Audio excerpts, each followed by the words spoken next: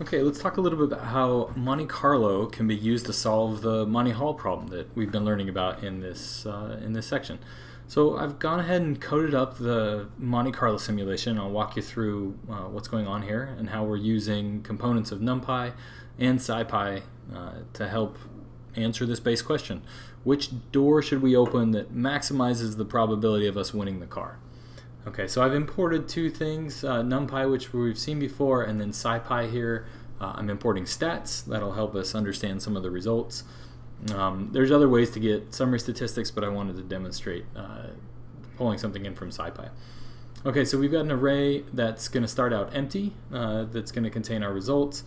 And then the way Monte Carlo simulation works is we have some arbitrary large number of trials that we're going to run. So I've got it set at 5,000 but it could easily be 50,000 um, or it could be 50.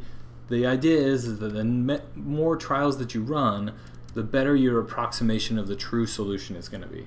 Okay, so for the mechanics of the problem, you can see that uh, we're going to pick a random integer, which is a door. There's three doors, one, two, or three, between 1 and 4, inclusive of 1, exclusive of 4. So it's going to pick a number between 1 and 3. Uh, and that's where the car is going to be. And then the contestant, you, are going to pick a door at random, also between 1 and 3. Then we're going to run through some calculations to decide which of the doors to open. So the mechanics of the problems are that the host knows which door the car is in. So he's going to pick the door that has the goat, not the one that has the car. So of the two doors that are left, uh, other than the one that you picked, the open door will be the one that both has neither your pick nor the car behind it. So that's what this is doing here. So you're getting this set diff 1, which is going to take the open door set, which is uh, any of the three doors, and it's going to remove uh, the car door and the pick door. And then if there's two doors, uh, it's going to randomly choose between one of the two doors and then return the open door. Then we're going to have another closed door, which is simply the uh, door that remains closed that's not your pick and not the open door. Right? So that's one of the two doors that remains.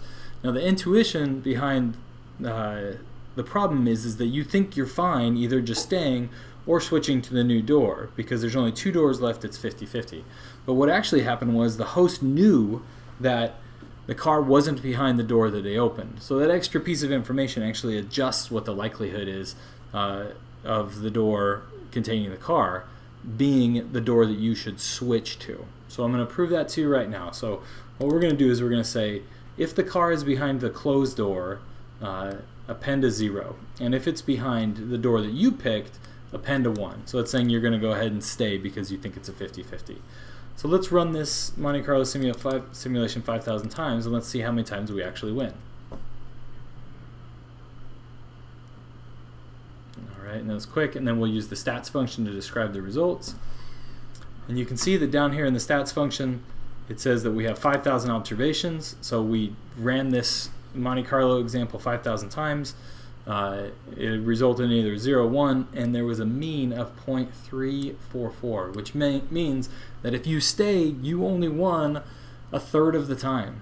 Uh, so this problem actually has a closed form solution that you can calculate using uh, using algebra, but it's pretty cool to see that you can also use Monte Carlo simulation to answer the same problem uh, without having to do any algebra. Uh, and this is this this is the case with many problems. We'll see the advantages of using random number generators in the future, uh, specifically as we move into machine learning. There's a number of places where uh, using randomness really, really allows us to explore things that otherwise would be really difficult to calculate. I hope this was interesting. Uh, look forward to seeing how you do on a very similar assignment after this.